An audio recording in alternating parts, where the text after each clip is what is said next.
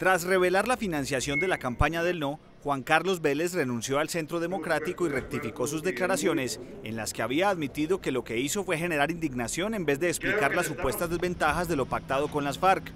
La campaña del no se fundamentó estratégicamente en lo contenido, en cuñas difundidas en radio y televisión que buscaron evidenciar cómo las concesiones a la guerrilla contenidas en los acuerdos gobierno-FARC generaban indignación. Vélez afirmó que no calculó el alcance de sus palabras y ofreció disculpas a quienes votaron libremente por el no y a sus comités. Me equivoqué al no ser riguroso.